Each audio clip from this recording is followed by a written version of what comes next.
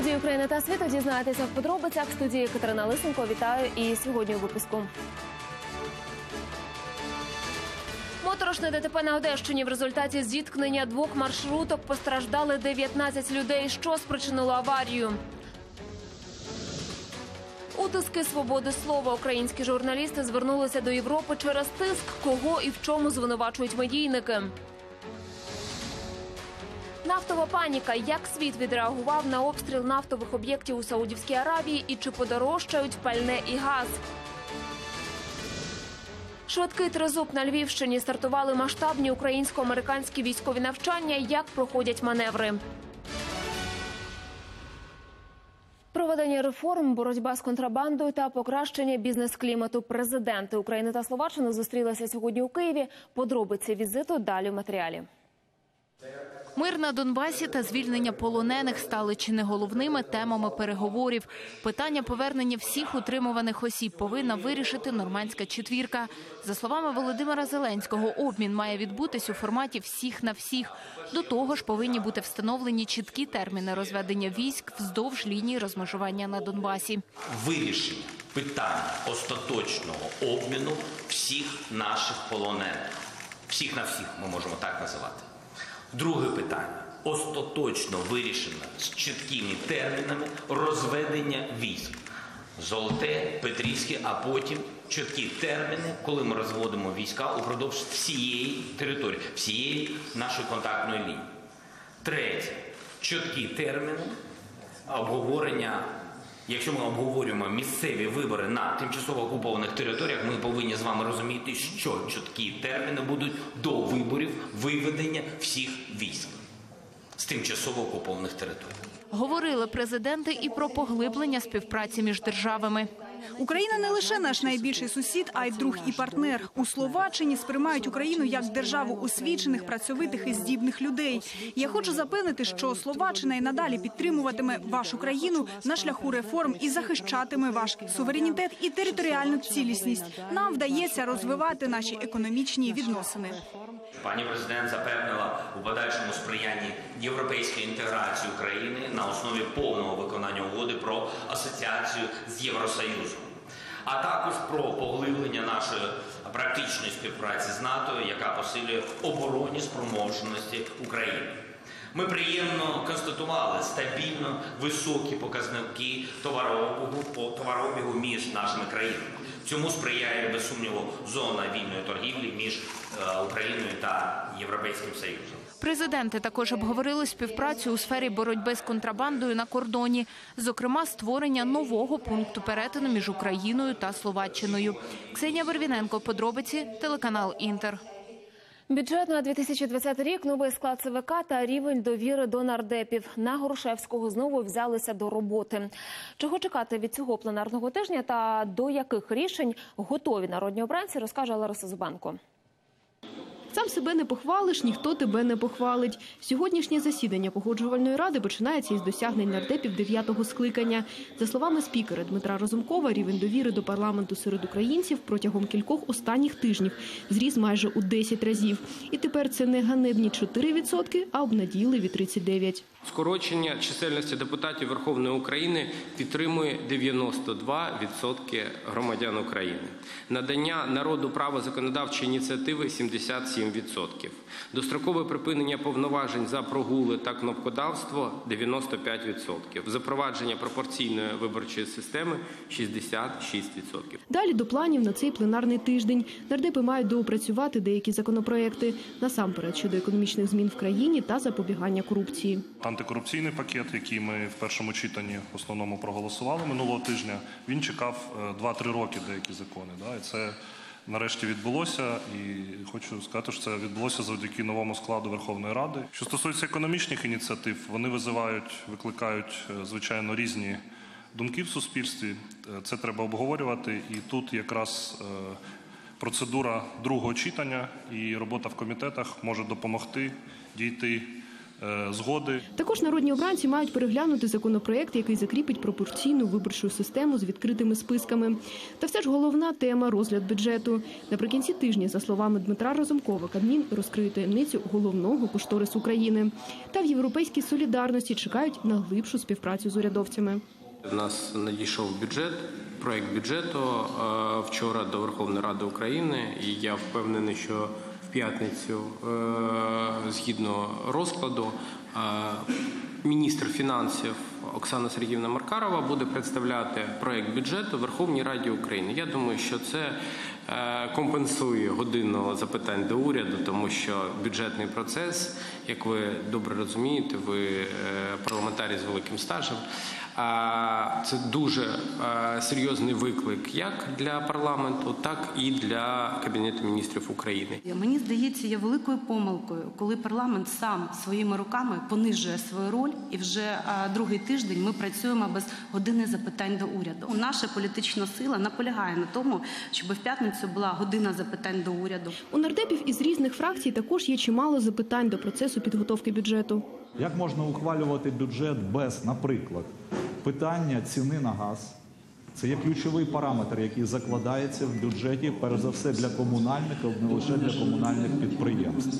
Як можна розглядати бюджет, якщо немає мінімального фактично прожиткового рівня, який поданий у вигляді законопроекту? Як можна це розглядати, якщо немає тих законопроєктів, які додатково повинні наповнити бюджет? Ну і без сумніву, найкраще відкриття, яке зробив прем'єр, що виявляється, зменшення дохідної частини бюджету це є зменшення тиску на бізнес, бо бізнес менше буде відраховувати в бюджет. В опозиційній платформі за життя впевнені презентації бюджету від Мінфіну недостатньо. Звітувати має особисто прем'єр, а цифри парламентарії повинні отримати раніше п'ятниці, щоб переконатися, що соціальна сфера достатньо профінансована. Для нас принципово відстояти виплати чорнобильцям, збільшення пенсій, збільшення виплат ветеранам, тим всім, хто потребує допомоги держави. А всі інші речі, які іміджево можливо будуть, нам не зрозуміло, чому збільшується військовий бюджет. Ми повинні йти до миру, ми повинні йти до припинення конфлікту. А збільшення військового бюджету це означає подальше зменшення соціальних виплат. Ми так вже бачили попередні 5 років. Ми вимагаємо повернення державного регулювання за цінами на товари першої необхідності, і відповідний законопроект також зареєстрований. Тобто, все те, що в нас виборці сказали, що для них це важливо, і ми це будемо відстоювати. Також опозиціонери не згодні з порядком денним, який пропонує спікер. Юрій Бойко наголошує, їхня фракція подала на розгляд парламенту пакет соціальних реформ, які президія чомусь ігнорує. Крім того, в опозиції чекають на утвердження нового складу ЦВК, із чим керівництво ради явно поки не поспішає. Лариса Зубенко, Максим Чеблін, Геннадія Нікієнко. Подробиці телеканал Інтер. Мовлення телеканалу 112 Україна може бути припинено вже цього тижня. Нагадаю, минулого року Нацрада не продовжила ліцензію телеканалу. Весь цей час рішення контролера оскаржували в судах. Який вирок сьогодні винесли судді 6-го апеляційного суду Києва? Дивіться далі.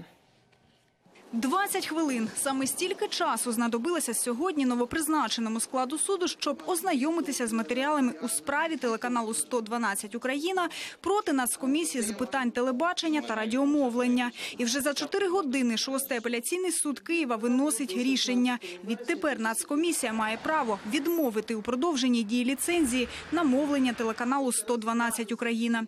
Сьогодні ж це рішення набирає чинності, і навіть подання касації не відстрочить вирок Нацради. Представники 112-го впевнені, контролер хоче позбавити телеканал ліцензії, а рішення суду було ухвалено під тиском. Решение э, суда открыло возможность Надсовету отказать в продлении лицензии телеканалу. И э, в случае вынесения решения об отказе в их продлении, лицензия прекращает свои действия в этот день. Ну, с сегодняшнего дня это решение вступает в силу, и мы ожидаем в ближайшее время рассмотрения судом э, ой, судом, Национальным советом по вопросам и радиовещания вопрос о продлении лицензии телеканала «112 Украина». И я убежден, что прогнозируемая и уже давно заявленная всеми членами Надсовета э, решение о, об отказе продлении этих лицензий будет принято. Найближчим часом у парламенті мають розглянути законопроект щодо посилення повноважень Національної ради з питань телебачення та радіомовлення. Представники опозиційної платформи за життя навіть до винесення на розгляд документа виступили категорично проти нього.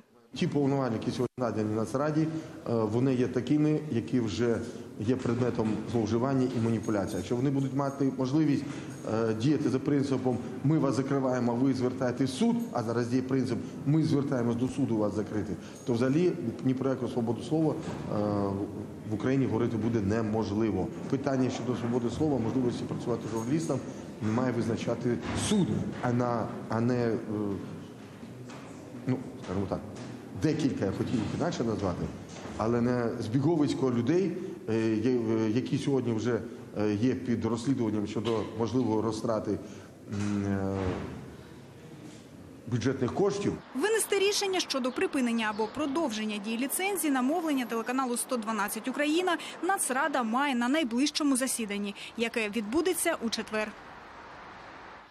Журналісти телеканалів 112 Україна та NewsOne розпочали інформаційну кампанію через утиски українських змі. Сьогодні медійники передали звернення до посольства Італії. У ньому закликали дипломатичне представництво відреагувати на факти втручання в роботу вітчизняних медіа, зокрема і на можливе позбавлення Нацрадою з питань телебачення ліцензії на мовлення телеканалу NewsOne. Подібні звернення журналісти вже передали до посольств Німеччини, Франції та офіційного представництва ЄС в Україні. Можуть позбавити, наприклад, а, 112 Україна телеканал цифрової ліцензії. Також щодо анулювання ліцензії телеканалу NewsOne тривають суди. Е, Ми також подаємо зустрічні позови на рішення Нацради з питань телебачення та радіомовлення. І дуже хочемо, щоб е, міжнародне співтовариство привернуло увагу і якось в межах своєї компетенції відреагувало на ситуацію, яка коїться з окремими змі. Гірка річниця рівно 19 років тому в цей день у Києві був викрадений, а згодом жорстоко вбитий журналіст Георгій Гонгадзе. Його тіло знайшли лише через півтора місяці за 70 кілометрів від столиці в Таращанському лісі. Рік знадобився Генеральній прокуратурі, щоб зрештою визнати смерть Георгія Гонгадзе і порушити справу за фактом загибелі. Попри резонанс та акції протесту на лаву підсудних безпосередні виконавці злочину потрапили лише через вісім років. Ними виявились співробітники тодішнього департаменту зовнішнього спостереження МВС Валерій Костенко, Олександр Попович і Микола Протасов. За жорстоке вбивство Георгія Гонгадзе вони отримали від 12 до 15 років позбавлення волі. А от Олексій Пукач, який безпосередньо керував злочином, опинився у в'язниці лише у 2013-му. Та попри це, крапка в розслідуванні вбивства журналіста досі не поставлена. Не лише непокараними, а й неназваними залишаються замовники вбивства. У квітні 2014 року в Генпрокуратурі вирішили переглянути справу. На початку 15-го досудове розслідування відновили. Триває воно і досі. У пам'ять про свого колегу з 2007 року Національна спілка журналістів України започаткувала День пам'яті загиблих журналістів. Відзначають його щотретьої п'ятниці вересня. Світові ціни на нафту стрімко пішли угору. Так ринки відреагували на атаки на нафтові об'єкти в Саудівській Аравії, що сталося ще в суботу. Виробництво в країні одразу знизилося вдвічі. Кого підозрюють у нападі США і чи може нафтова паніка перерости у війну на близькому сході? Із Вашингтона про це розкаже Дмитро Анопченко. Атака в Саудівській Аравії показала, наскільки світ вразливий для наслідків таких терактів. Арамко, найбільший на планеті виробник, миттєво втратила половину видобутку, а світ 5% всієї нафти. Як пише агентство Reuters, щоб повністю налагодити тут роботу, знадобиться кілька місяців. А запасів сировини Саудівської Аравії вистачить лише на 26 днів. А отже, частково через паніку, частково з об'єктивних причин ціни на нафту ростуть. Ще минулої п'ятниці барель нафти серцю коштував десь 60 доларів. Але зараз безліч прогнозів, мовляв, через атаки нафта подорожчає до 80 доларів, а то і ще вище. Є вже і перший стрибок одразу на 14%. На міжнародних біржах цей день почався з ціни 70 доларів, а по обіді позначка знизилася до 67. Але хто знає, що буде далі? Чи вдасться стримати зростання цін? Дональд Трамп уже дозволив використовувати стратегічні резерви країни, щоб уникнути паніки на ринку. Нафти більше ніж достатньо, написав президент у Твіттері і відразу ж розмістив ще один пост. Нафтовий сектор Саудівської Аравії зазнав атаки. Є підстави вважати, що ми знаємо, хто в цьому винен. Ми в повній боєготовності. Усе залежатиме від підтвердження. Однак ми чекаємо, що скаже королівство про те, хто на їхню думку стояв за атакою і як нам слід діяти далі. Саме від цих подальших дій і залежатиме дуже багато. Адже держсекретар Помпео прямо звинувачує в атаках Іран. каже, Тегеран проводить політику брехливої дипломатії і стоїть за усіма останніми нападами. Якщо США відповість війною, ціни на нафту підскочать різко і надовго. Якщо ж цього не станеться, то й пальне особливо не здорожчає. Світова економіка працює так, що ціни на пальне мають зростати щонайменше кілька тижнів поспіль для того, щоб вони позначилися на вартості бензину. Тобто нинішній саудівський інцидент на цінах на пальне в принципі позначитися не має. Ну хіба що власники заправок спробують спекулювати, і влада за цим має слідкувати в будь-якій країні. Інший сценарій, якщо Америка таки почне бойові дії. Будь-який регіональний конфлікт може викликати значний стрибок цін і на нафту, і на пальне, кажуть експерти. З іншого боку, Іран може відповісти асиметрично прихованою атакою на нафтові підприємства та трубопроводи, і це теж здатне підірвати ситуацію. Ризиків багато, але поки що вони лише уявні. І в ОПЕК заявляють, форс-мажору на ринку не буде, і паніки в них немає. З Вашингтона Дмитро Анопченко, Сергій Коваль, американське бюро телеканалу Інтер. Зростання світових цін на нафту може позначитися і на Україні. Чи подорожчає бензин, дизель та газ напередодні опалювального сезону? І наскільки розбирався Геннадій Вівденко? Про вартість пального та газу свідчать сухі цифри. Стрімке зростання вартості нафти на світових ринках на перший погляд здається надто загрозливим, але не все так погано, кажуть експерти. Любые м, эти форс-мажорные события, там, военные действия, вот в данном случае атака э, нефтеперерабатывающего предприятия, они на рынок нефти всегда влияют. Любые такие форс-мажоры. Другое дело, что, как правило, м, вот эти резкие м, повышения цены, ну, они потом сменяются э, понижательным трендом. брокери біржі, е, вони відреагують. Скоріше всього, що підіймуть там десь десь до 70 на барель, це десь плюс 7-8 доларів на барелі. Але я думаю, що попиту не буде такого, тому що всі розуміють, що Саудовська Аравія це досить потужна країна, і крім того, що вони видобувають, підготовлюють і відправляють на імпорт, у них ще є дуже великі запаси на мільйони барелів в Роттердамі, в Окінаві, Окрім ймовірного зростання цін на пальне в Україні, які залежать від імпорту, ще можлива і інфляція на споживчому ринку. Нефть, которая попадет на украинский нефтеперерабатывающий завод, один у нас завод, или бензин, произведенный из этой нефти, э, только через 3-4 месяца ощутит изменения на мировом рынке нефти. Поэтому, если, предположим, сейчас действительно цены поднялись и зафиксируются, то ч- месяца через 3-4 мы по- почувствуем влияние на украинском рынке. Нафтопереробні підприємства вони реагують е, е, з таким логом по часі десь е, ну 30-40 днів від того від тієї нафти, бо вона має ще зайти на заводи, переробитися і, і вийти на нафтопродукти. Ціна на нафтопродукти входить до формули розрахунку оплати за блакитне паливо для промислових і приватних споживачів за поточними контрактами для Євросоюзу, де саме і купує енергоносії офіційний Київ. А отже, вартість європейського газу для України може зрости. До того ж, крім атак на Саудівську Аравію, додається ще й лівійський чинник.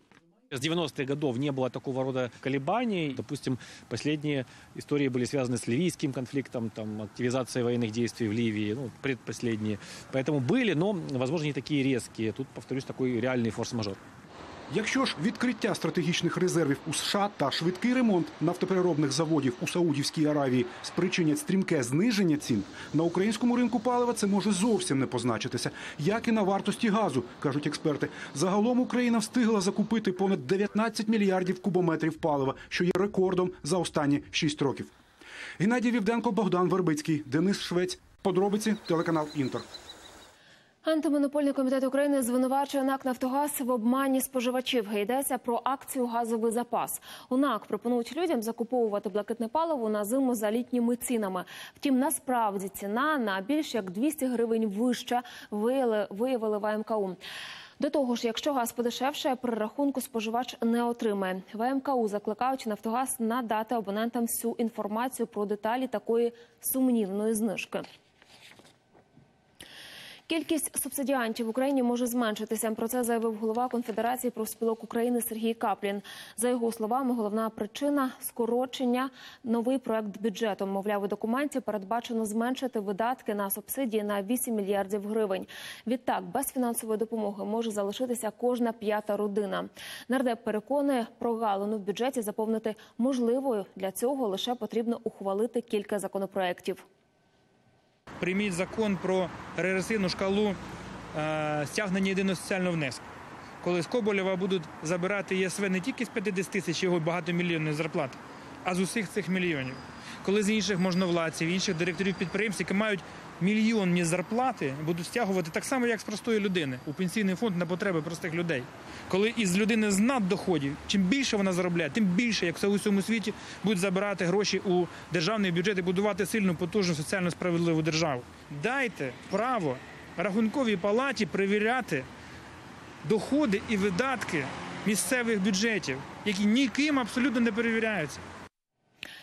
З документами на житло, але без ключів у Павлограді переселенці вже три місяці не можуть заселитися у свої квартири.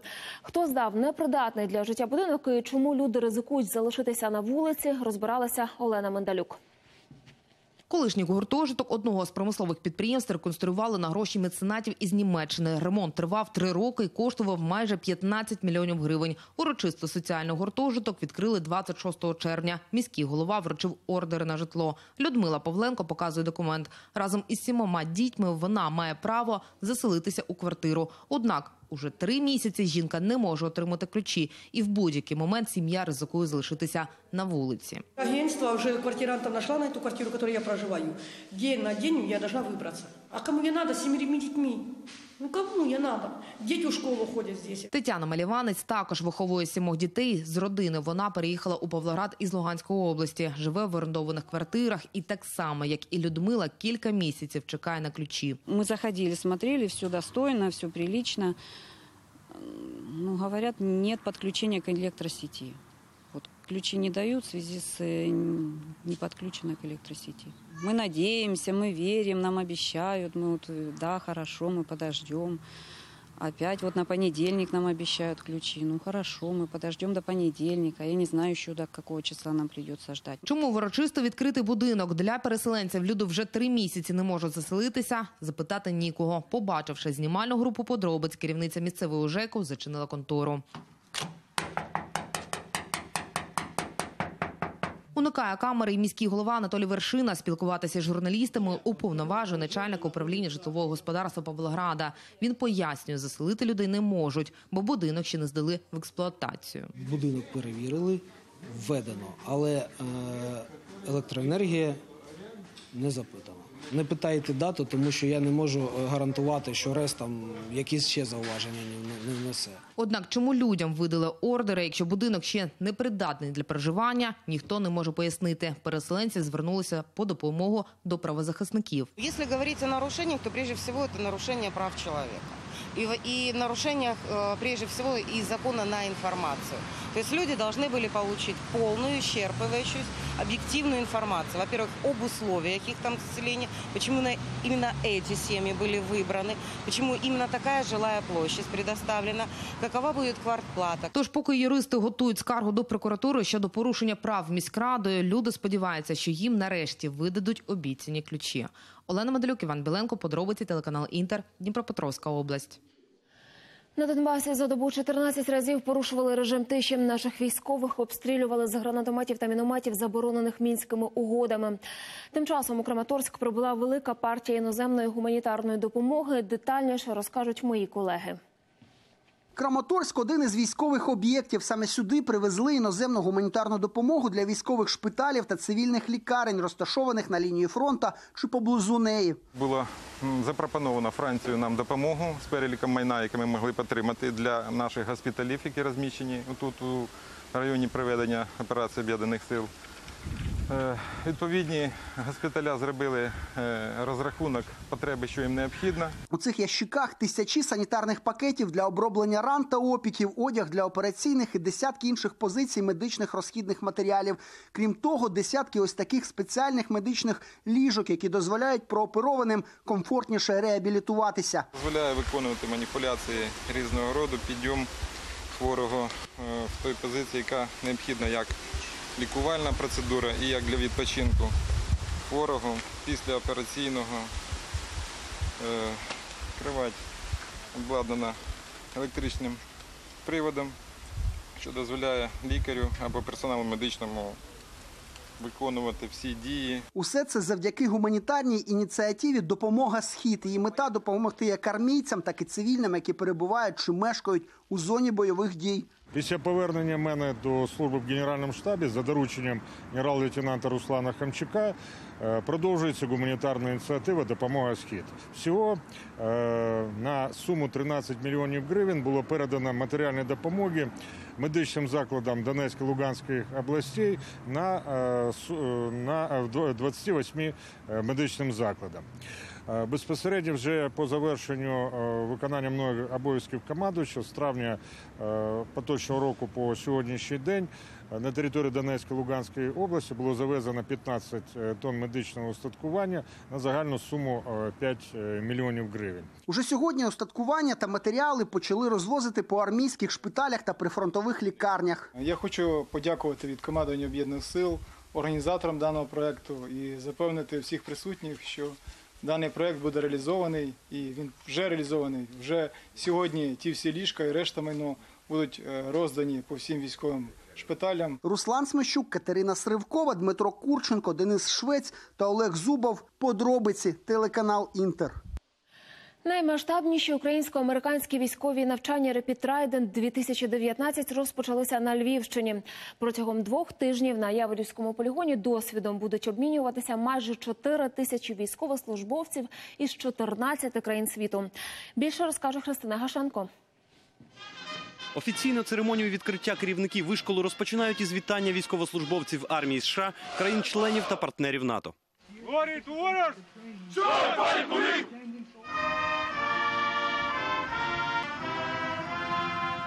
Цьогоріч уперше у навчаннях беруть участь українські рятувальники, прикордонники, працівники Нацполіції та Нацгвардії. Тренування проведуть двома етапами. Перша команда штабна, в ході якої будуть відпрацьовуватися питання планування та управління застосування багатонаціональної дивізії в ході відбиття збройної агресії. Польова фаза, під час якої будуть відпрацьовані спільні дії під час підготовки та ведення оборонних стабілізаційних наступальних дій багатонаціональною бригадою у взаємодії з іншими військовими формуваннями. Бойові броньовані машини, чотири гелікоптери Мі-8, загалом майже 700 одиниць спецтехніки. Щоб тренування видалися реалістичнішими, армійці застосують американську систему Майлз. Rapid Trident 2019 показує напрям, у якому рухаються сили безпеки України, і цілі, які вони ставлять перед собою, взаємосумісні зі збройними силами НАТО. Такі навчання для України надзвичайно важливі насамперед тому, що увага всього світу прикута до них. Українські бійці мають неабиякий бойовий досвід, тож у них є чого повчитися, визнають армійці США. Мені найбільше хотілося б дізнатися, як вони діють на лінії зіткнення, як поводяться під час інших небезпечних ситуацій. Думаю, ми про все це дізнаємося під час спільних навчань. Ефективно звільняти захоплені міста це перше, чого мають навчитися українські військові у своїх колег іноземців. кажуть, такого досвіду потребують передусім. Вони беруть в оточення місто. е, Тиждень їх одержують в оточенні, повідомляють місцеве населення про те, що буде проведений штурм.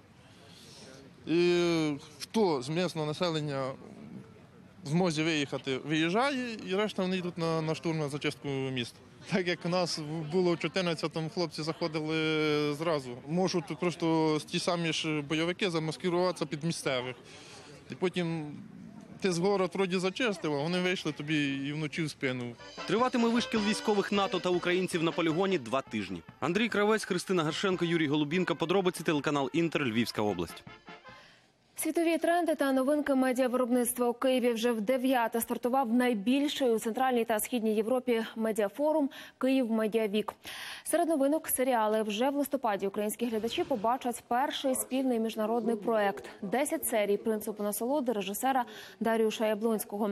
Знімали стрічку Чехія, Польща та Україна. Продакшн компанія Стар Медіа представляла нашу країну. За сюжетом кримінальної драми слідчі з трьох країн розслідують убивства, які були скоєні одночасно в цих країнах. Перший сезон серіалу вже показали на платному каналі в Польщі. Високі рейтинги підштовхнули творців до продовження. Драматурги вже пишуть сценарій другого сезону.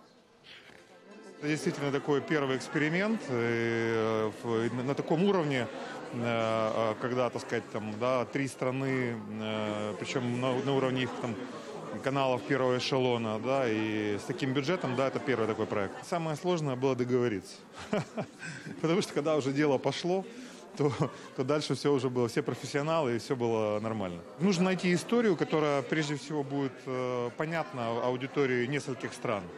Э, И в девелопменте постоянно об этом думать. Э, Я думаю, что очень важно было, что была создана такая writing room, которой, э, э, кроме главного автора, который был у нас э, поляк, польский драматург, был, был, был- в room чешский сценарист, был украинский сценарист, которые отвечали за наши линии, грубо говоря, за украинские линии, да, за те события, которые происходят здесь.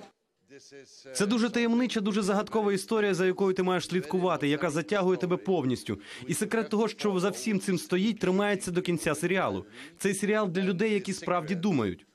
Українські актори найсерйозніші, і я це дуже ціную. Тут дуже хороша акторська школа, заснована на методі Станіславського. Вони справді вживаються в роль більш ніж на 100%. Це фантастично. 19 людей постраждали в ДТП на Одещині. На трасі поблизу села Шабо зіткнулися два пасажирські мікроавтобуси. Попередньо встановлено, що обидві маршрутки прямували в Білгород-Дністровський. При цьому водій одного з автобусів не дотримався безпечного інтервалу руху та скоїв зіткнення з іншим. Наразі на місці події працюють поліцейські. Постраждалих, серед яких є і діти, доправили до лікарні.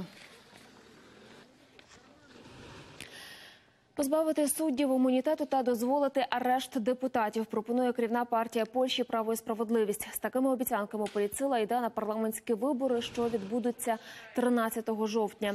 У програмі партії зазначили, хочуть уможливити арешт народних обранців на вимогу генпрокурора. Наразі це можна зробити лише за згодою Сейму. Також планують ухвалити новий закон для регулювання роботи журналістів і запровадити самоврядування у цій сфері. Право і справедливість нині лідер соцопитувань. Партію готові підтримати 45% поляків. У Брюсселі скандал через посаду віце-президента із захисту європейського стилю життя призначила нова очільниця Єврокомісії Урсула фон дер Ляєн. Чому її розкритикували колеги та до чого тут мігранти розбиралася Олена Абрамович. Захищати європейський стиль життя Урсула фон дер Ляєн призначила грека Маргарітаса Схінаса, який раніше був речником Єврокомісії. Оголошення про таку нову посаду викликало неабияке здивування у Брюсселі, адже суть європейського стилю життя і полягає в тому, щоб ніхто тобі не вказував, як жити, стали писати журналісти. А євродепутати, побачивши, що до обов'язків Схінаса входять питання імміграції, взялися складати колективні листи скарги. Я попросила Антоніо Таяні надіслати листа Фондерляєн від усіх голів груп про те, що віцепрезидент із захисту нашого способу життя і міграції це нехтування європейськими цінностями. Невдалий креатив, ганьба і чудовий слоган для крайніх правих. Так відгукувались у ЄС про нову посаду. Французький лідер правих Марін Льопен назвала це перемогою ідеології націоналістів від того факту, що імміграція загроза для Євросоюзу. Не схвалив інновацію і Жан-Клод Юнкер. Європейський спосіб життя це зібрати разом наші таланти і сили, враховуючи той факт, що всі мають поважати одне одного, не зважаючи на колір шкіри чи країну походження. Я добре знаю Маргарітаса, бо щодня з ним контактував і переконаний, що ця посада не відповідає його цінностям. Європейський стиль життя це приймати тих, хто приїздить здалеку до Євросоюзу, заявив Юнкер. Урсула фон дер Ляєн після кількаденного мовчання заявила, створила посаду, щоб саме захистити європейські цінності. Ми помітили втручання ззовні в наші вибори і бачили, як росте популізм з дешевими націоналістичними слоганами, щоб дестабілізувати нас зсередини. Ми не дозволимо цим силам порушити європейський стиль життя, а вони хочуть змінити його. Такого способу життя європейці досягли ціною жертв і неймовірних зусиль. Не варто це сприймати як належне, наголосила фон дер Ляєн. І заявила, посаду скасовувати не збирається. З Брюсселя Олена Абрамович, Олексій Шматов. Подробиці. Європейське бюро телеканалу Інтер. Неймовірний Халк, британський прем'єр, порівняв себе із супергероєм. Борис Джонсон наполягає, ніщо не зупинить його втілити Брекзит. У Люксембурзі він вперше провів переговори з президентом Єврокомісії. Як пройшла зустріч та чого чекати далі, розкаже наша британська кореспондентка Світлана Чорнецька. Це перше побачення британського прем'єра та його європейських колег. Тож і проходить воно не де-інде, а в ресторані. На обід до Люксембурга Бориса Джонсона запросив президент Єврокомісії. Він і сплачуватиме рахунок. Жан-Клод Юнкер зустрічає прем'єра як старого друга. На обличчях обох широка усмішка. Утім, розмова на них чекає нелегка. Чому ви так оптимістично налаштовані, Борисе? Ну, ми обережні, обережні. Обережно оптимістичні. Політики зникають у приватній кімнаті ресторану. Британського прем'єра частують стравами французької кухні. В меню слимаки, сир та лосось. А ще Брекзит. Процес виходу Британії з ЄС давно у глухому куті. Тож Джонсон та Юнкер вирішують, як жити далі. Брюссель досі чекає від Лондона нових пропозицій щодо угоди з розлучення. Юнкер нагадав, що Велика Британія несе відповідальність за те, щоб виступити з юридично оперативними рішеннями, які були б сумісними з угодою про вихід. Такі пропозиції поки що не надходили. Єврокомісія буде доступною для ведення переговорів 24 години 7 днів на тиждень. Прориву не сталося, домовилися лише про щоденні зустрічі команд переговірників. Тим часом Борис Джонсон продовжує шантаж жорстким брекзитом. Мовляв, якщо згоди не дійдуть, розриватимуть стосунки по-живому.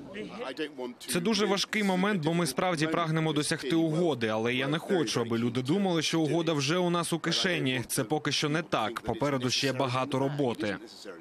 Сам Борис порівняв себе із супергероєм неймовірним Халком. Мовляв, що більше його розлютити, то сильнішим він стає. І врешті розірве кайдани ЄС. З цієї метафори вже добряче посміялися і в Британії, і в Європі. Адже сила Халка неконтрольована і почасти руйнівна. Не втримався від коментаря й голівудський актор Марк Руфало. Він уже 12 років грає Халка в кіно.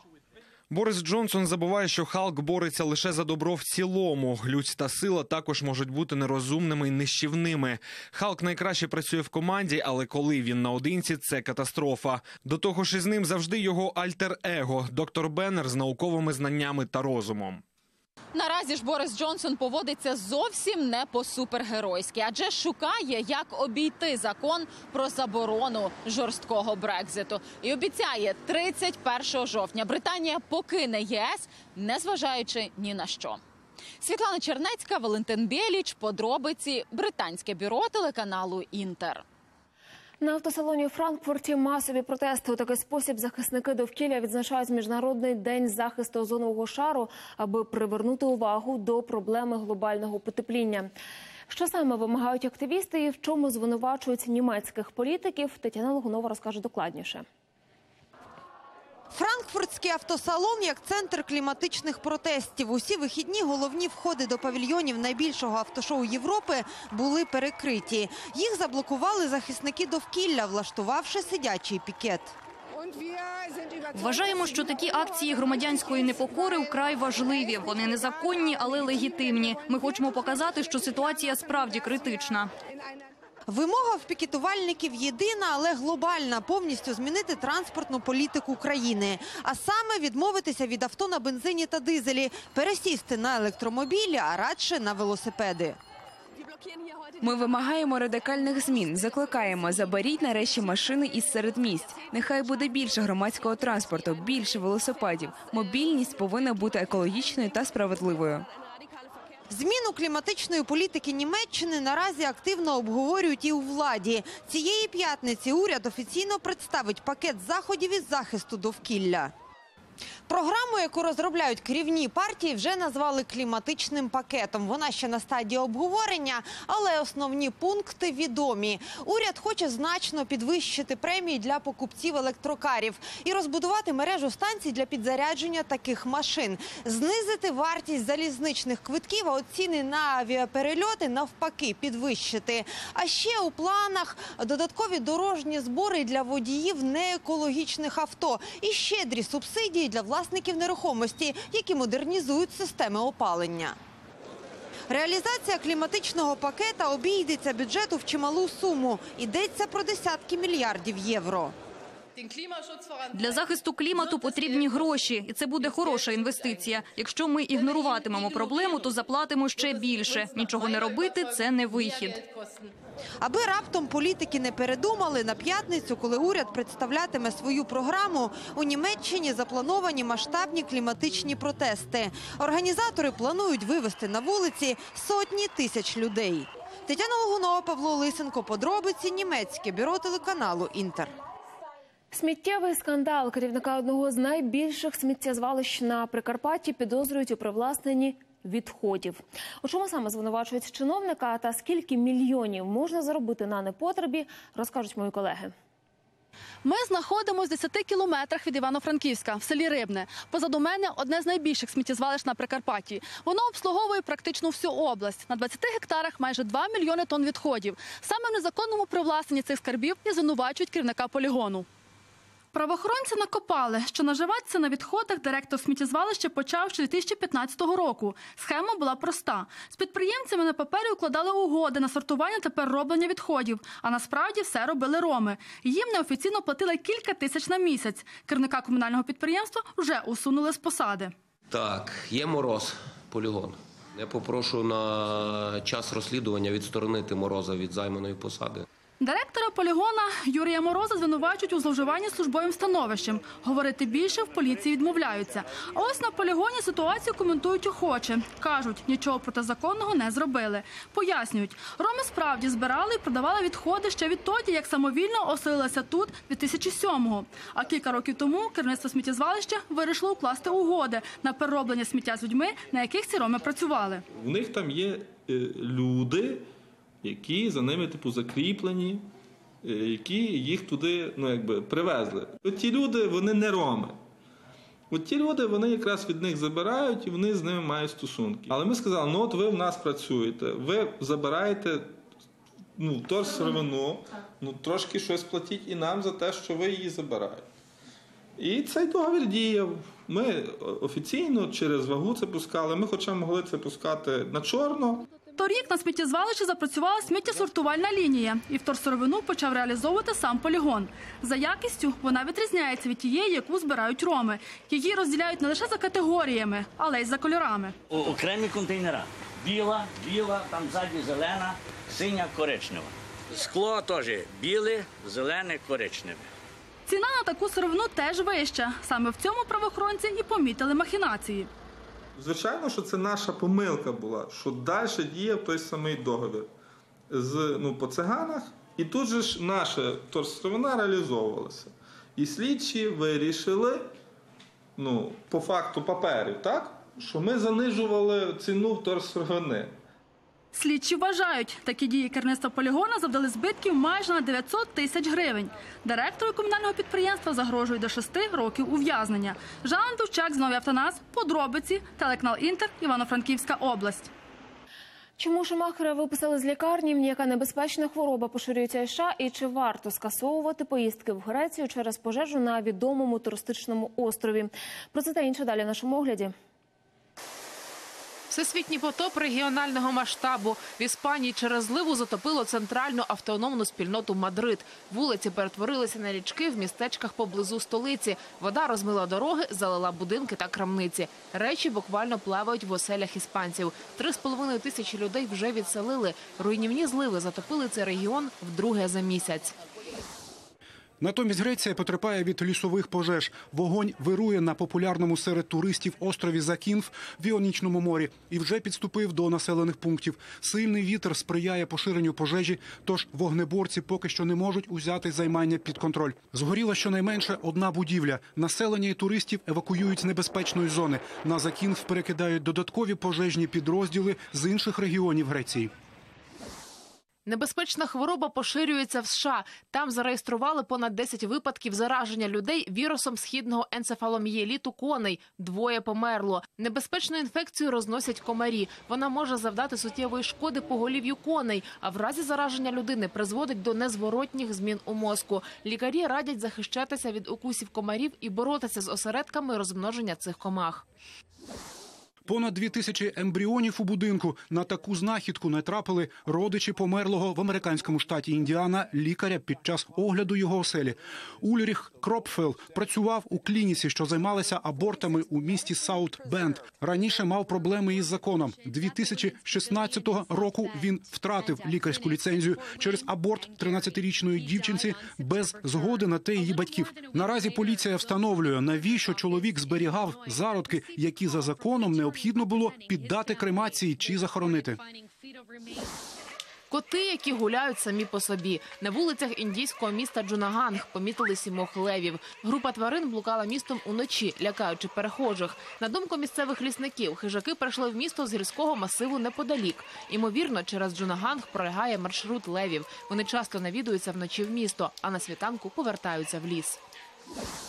З вітерцем у майбутнє в Парижі на сені почали випробовувати летюче таксі. Воно має стати безпечною для довкілля альтернативою сервісного транспорту, яка дещо розвантажить вулиці французької столиці.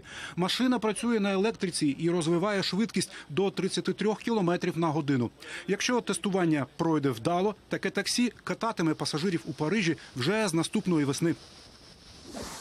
Міхаель Шумахер пройшов курс експериментального лікування в паризькій клініці. Йому зробили переливання крові зі стовбуровими клітинами. Повідомив в ефірі французького телеканалу BFM TV журналіст Жан-Мішель Декужі. Останнім часом у пресі почастішали чутки про стан здоров'я семиразового чемпіона Формули 1 однак без підтвердження з боку медиків чи рідних Шумахера. Спортсмен отримав серйозну черепно-мозкову травму 6 років тому під час катання на лижах і впав у кому. Відтоді жодного разу на публіці не з'являвся. Тож ще досі гонщик у комі і який реальний стан його здоров'я невідомо. Більше новин, як завжди, на нашому сайті. Подробності є. Я в прямому ефірі. Побачимося вже завтра. Я бажаю вам гарного вечора та до зустрічі.